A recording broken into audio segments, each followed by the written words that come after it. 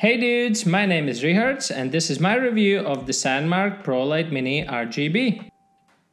This video is going to be more about tech and camera gear, so if this is something you're not interested in, Tune in next week for more lifestyle vlogs. For those who are interested, I first want to say that Sandmarc sent me this light for testing out, but they didn't pay me to make any reviews, so whatever I say in this video are just my thoughts. So let's start first with what's in the box when you receive this thing. So from the first impressions, it already felt like it's quite fancy. So if this thing slides off and then the box opens with this magnetic thingy. So First impressions very nice. And in the box we have the light itself.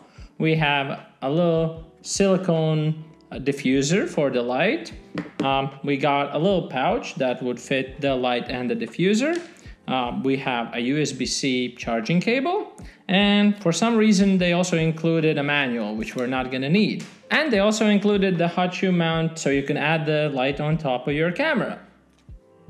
The light itself is a little metal brick and it has the LED lights on the front covered with this matte diffuser and on the back we have a little screen to check your settings and battery levels. On the side we have four square metal buttons then you can turn the light on, you change the modes and at the bottom you can change the intensity and the brightness of the colors.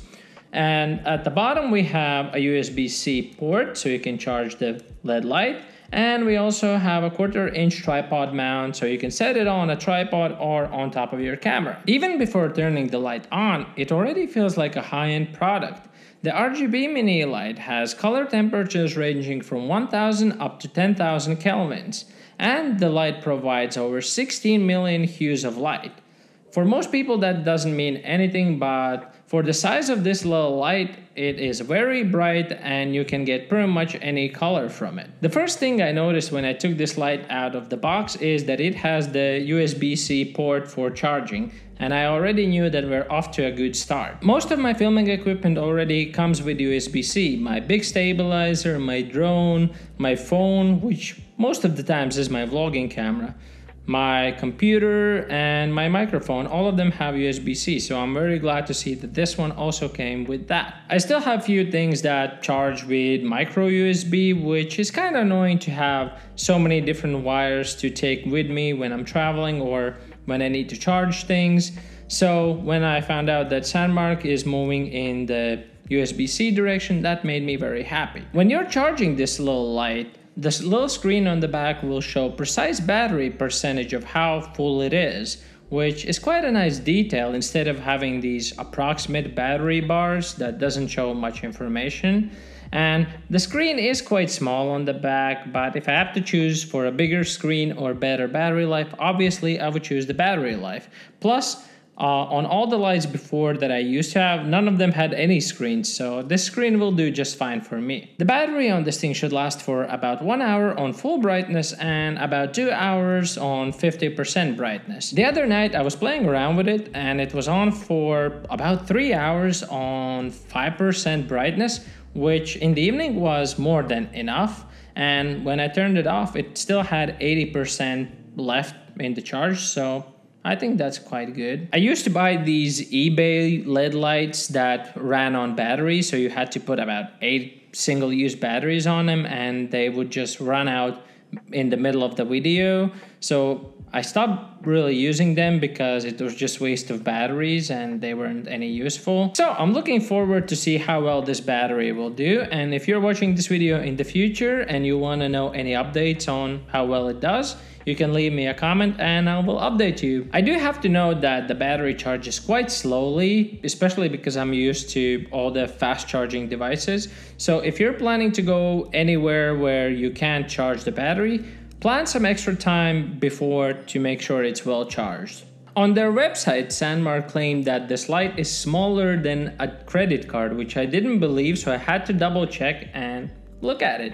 It's actually smaller than a credit card. And it's only one third of my phone, so it's quite small. And the fact that it only weighs 86 grams, which is perfect for someone like me who likes to travel light, and I already have tons of film equipment to carry around, so I don't really need extra weight. But the fact that you can have this little light which performs well and is it's small enough to put it in your pocket is another plus from me. They also added the silicone diffuser that I mentioned before, so you have to put your light inside of it. It's not the most convenient way to put it in, but it, it works. So there's some space in the front of the light that you can squeeze, but I think it's so that there's more space for better diffusing and to avoid overheating. Which I want to mention that the other day I kept it on for quite a while on full brightness and it did start to get quite warm but not nothing dangerous or anything. So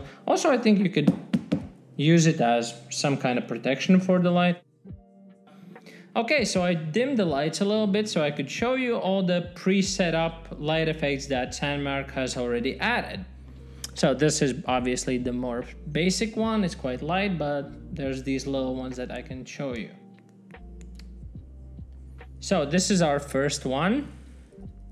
And you know, it seems like there's a little bit of lighting going on or something. So not sure if I will use it, but then we have number two, which feels like I guess I'm being chased by police or something. Maybe you could use it. I don't think I will. Not really my style of videos. Mm, light and blue. Not sure. Then the next one. Red and white. Also not sure. If you know what these color schemes are, let me know. I'm not sure. Now this one I like. So the light is just changing slowly. You can see all the hues that it offers. It's quite nice. Would be really good for a background light. I think it's the same thing, but just a little bit faster. It's not bad. I think it's quite nice for YouTube videos. Also, you can use it as a mood light around the house when you're not filming anything. Could be a little bit slower. You know, the lights are changing quite quickly. Okay, more glowy stuff, quite slow, but it shines some colorful lights, very nice. And number eight effect is the SOS signal, so might come in handy, I don't know. So let's check if that light looks good in the background. This one. Well, I think it's quite light at the moment, but some lights are changing. It's quite nice. Let me see if I can make the camera a little bit darker. All right, that's pretty cool. I like that. So these are the pre-set up settings that you could use, which this is gonna be my favorite one.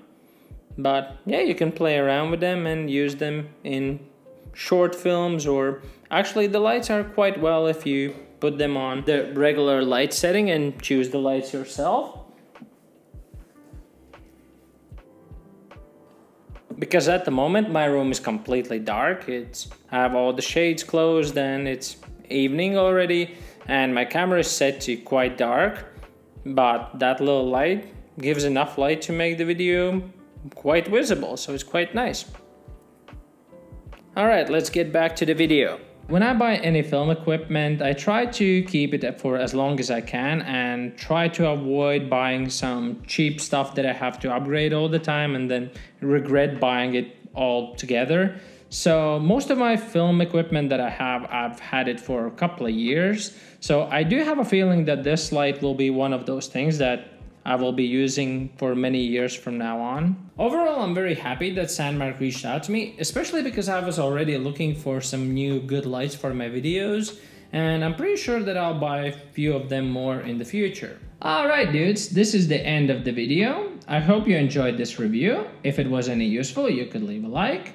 If you want me to make any similar videos, you could subscribe. And now tell me, do you like this light? What kind of lights do you use and would recommend to others? I will leave the link to this light in the description if you're interested, and I will see you in the next video. Bye!